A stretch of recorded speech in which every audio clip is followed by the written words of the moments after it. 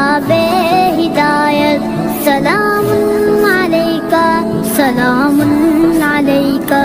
तुम्हारे लिए हम रसूलों के सरवर बुने जा रहे हैं दुरूदों की चादर। है बीमार हम तुम मसीहा हमारे। नहीं कोई अपना सिवाय